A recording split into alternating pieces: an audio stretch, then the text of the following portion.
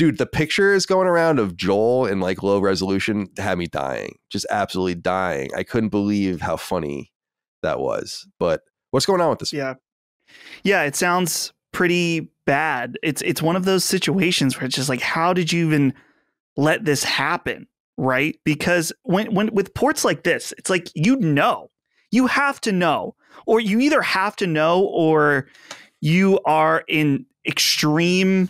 Uh, you are neglecting to do proper testing that would tell you these types of things, which I would imagine is not the case for a team like Naughty Dog, which I understand they have limited experience with PC, but it's it's just shocking to me, but it's also it's shocking and not surprising at the same time. It's shocking from Naughty Dog and and Sony to see this bad of a PC port cuz from my understanding, I don't have experience with it myself, but this sounds like it's a lot worse than the Horizon PC port that had some issues initially. That sounds like there's some major issues with this port in particular. So it's it's surprising, but at the same time, uh, being a PC gamer right now sucks. This is just kind of par for the course. Is that these games coming out on PC?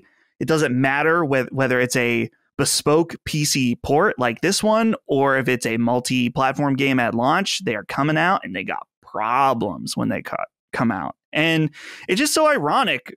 And it, I'm saying this from someone who is in at least partially a PC gamer. I have like a nice PC rig. I've got a 3080, so I'm, I'm there. but I no longer look to PC to play almost anything now because I don't. It's no longer the place where you can get that that top tier, highest quality experience for from what it seems, what it feels like right right now, virtually anything.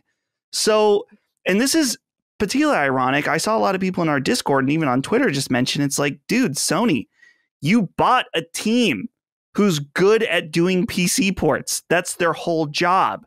And obviously, it's not as easy as just being like, hey, Nixxes, go work on this. But surely there's something you could have done surely you should have at least delayed this till it was ready, even though you already delayed it. It just sucks that maybe it sounds like a situation where they thought, well, it's not quite ready yet. We know that, but we got to strike while the iron's hot, and and people just wa- you know watch the show, and so now they want to get the game on on PC. It's like I would argue that the damage done on for this is is much worse. It's totally a blight for I think for Naughty Dog and for Sony to in their currently not totally new, but still they're they're trying to get this thing going on PC. And when you release ports like this, people are going to become skeptical of every port you do after this now. So it wasn't worth it. Clearly they knew and they did it anyway. Yeah. It's uh it's a good point about Nixxes, especially. You would think that they would get the most important projects. You would, and so you would think that The Last of Us would be a very important project. Yeah. But they can only do so much. Who knows what they're doing? Maybe something with Horizon. Who knows? All right. Well, we'll keep an eye on this. About the, I guess we should exit before we exit the story. I shouldn't forget to um, to ask about PC.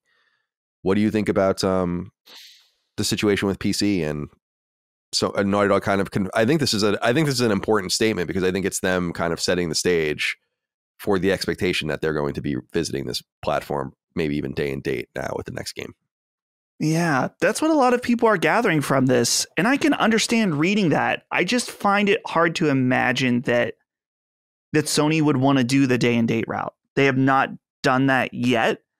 And I think that for games from from Naughty Dog, that's those are system seller games. Those are games that PC players buy PlayStation 4.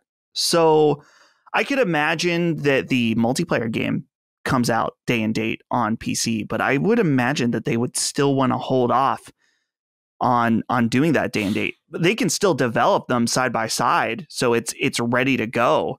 I think that makes sense financially that they if they're able to do them at the same time and and, and plan for that release, that makes sense to me. But I, am not saying it's impossible, but I I I don't feel like it's current currently likely that they would do day and date.